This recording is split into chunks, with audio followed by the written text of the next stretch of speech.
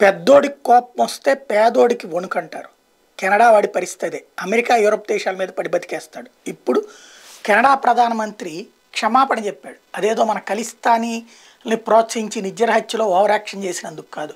క్షమాపణ చెప్పింది ఎందుకయ్యా అంటే అమెరికా యూరప్ దేశాలకు కోపం వచ్చింది. ఎవడైతే నాజినియంత హిట్లర్కి అనుచరుడు ఒకరిని తీసుకొచ్చి కెనడా పార్లమెంట్లో సన్మానించడం అతను రష్యా మీద గెలిచినటువంటి వాడంటూ ప్రకటించడం తీరా చూస్తే అతను కాస్త హిట్లర్ అనుచరుడని తేలడంతో ఇప్పటికే కెనడా స్పీకర్ని తీసేసి తన తప్పు కప్పిపుచ్చుకున్నటువంటి కెనడా ప్రధానమంత్రి టుడో ఇప్పుడు బహిరంగ క్షమాపణ చెప్పాడు.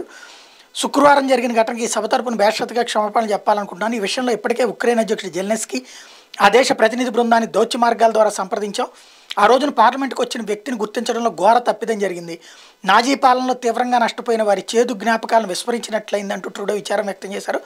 కెనడా పార్లమెంట్లో నాజీ సైనికుడికి జరిగిన సత్కారాన్ని రష్యాగా తీవ్రంగా నిరసించడం ఉక్రెయిన్ లక్ష్యాన్ని తప్పుదారి పట్టించేందుకు రష్యా ఈ తప్పిదాన్ని రాజకీయం చేస్తోంది ఇది నాకు ఇబ్బందిగా ఉందంటూ ట్రూడో వ్యాఖ్యానించి ఆ పైన పార్లమెంట్లో గౌరవించినటువంటి హంకా రెండో ప్రపంచ యుద్ధంలో జర్మనీ అంత అడాల్ఫ్ హిట్లర్ పక్షాన పోరాడిన పద్నాలుగో వాఫన్ గ్రెనేడియర్ డివిజన్కి చెందిన వ్యక్తి అని తేలడం దాంతో ఇప్పుడు క్షమాపణ చెప్పకపోతే కనుక అమెరికా యూరప్ దేశాలు జర్మనీతో సహా అందరూ ఆగ్రహం వ్యక్తం చేస్తుండేటప్పటికీ కథ మారింది.